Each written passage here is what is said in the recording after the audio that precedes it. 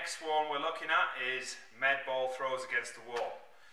What's really important in this is that we're actually loading the hips so then we can move well through the spine.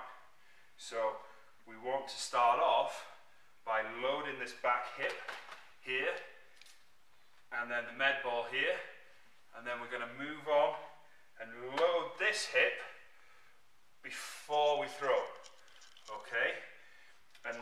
look at our feet here so we're going to go off this got a solid foot and then actually when you when you throw your foot can actually come off the ground and we transfer onto this foot Alright, so this is going to be an example.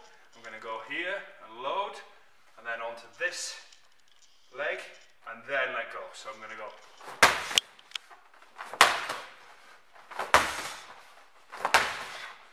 Okay, what a bad example is people who just kind of throw with their arms and they, they have no load through through through the hip. Okay, so kind of like this. Alright, so Emma, we start off loading in this hip. Here we're going to have a rotation through thoracic. And then we're going to move on to this hip. That's good. Good. That's it. Throw a little bit straight against the wall. Just make it easier to catch. That's it. Good.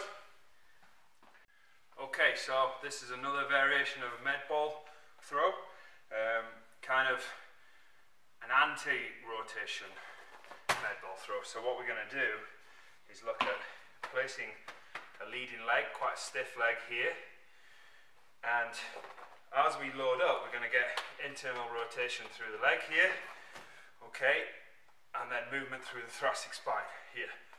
And a lot of this exercise is about catching on the way back and slowing the movement down. So we're here and catching. So I'm going to load up through here and catch back. When you get more confident, you can load up.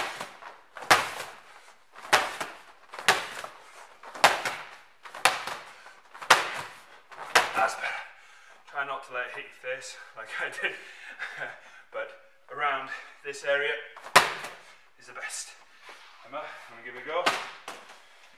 So we're to here create some internal rotation on this leg and load up and back. Good.